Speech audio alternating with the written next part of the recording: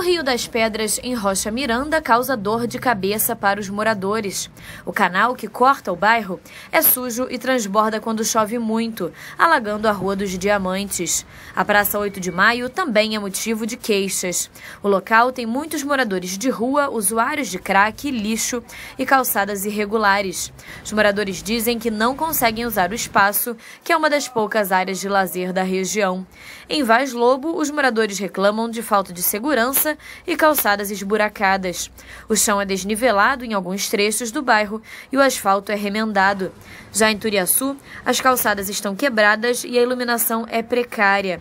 Pelas ruas do bairro, muita sujeira pelo chão e poucas lixeiras. Os moradores dizem que a coleta não passa em todas as ruas.